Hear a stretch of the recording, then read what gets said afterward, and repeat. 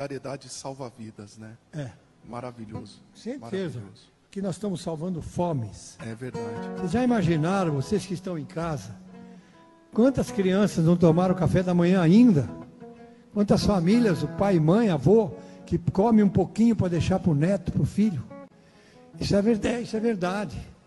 E está o inferno aqui em São Paulo, brigando com o prefeito, brigando com, com o governador. O que vocês querem fazer com o nosso povo? Hein, Dória? Hein, Covas? O que vocês querem fazer com a gente? Será que eu preciso aí meter a mão na cara de um de vocês? E eu faço. Fujam de mim. Eu não estou aceitando mais ser amigo de vocês.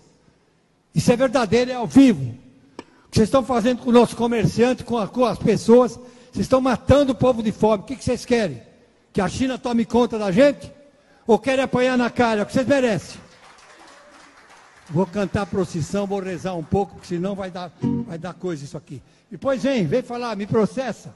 Fala que eu estou errado. E vocês vão ver o que vai virar à frente da casa de vocês. Vocês acham que o povo não está comigo? Pensa bem nisso. Eu não me manifestei até hoje.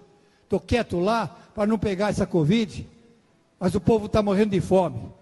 Vocês são muito culpados. Preste bem até, acorde para a vida. Procissão.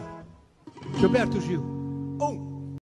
Tá aí, um cara mais velho, não tem rabo preso, falando. E uma dica, não peça uma boa administração da saúde para político, remédio. Diga para ele parar de te roubar através de impostos. Em vez de eles fingirem que estão enfrentando essa doença, deixa o seu dinheiro com você e você a enfrenta. E outra coisa, vocês podem reparar uma série de canais, programas aí que se dizem de direita, inclusive do YouTube, eles não falam contra a obrigatoriedade do uso dessa focinheira ridícula enquanto eles ficam nos seus estúdios sem máscara. Ou seja, eles não estão nem aí para Dona Maria, que é obrigada a ficar o dia todo numa padaria ampla usando essa coisa no rosto. Tá? São um dos piores tipos de comunistas que existem, que são os covardes. Entendeu? E outra coisa que eu queria dizer aqui é sobre protestos. Concentrem as manifestações nas praias, nos rios, nas cachoeiras. Porque aí, se a fiscalização chegar, eles vão molhar as calças. Pelo menos você deixa eles todos ensopados. Já é muito interessante.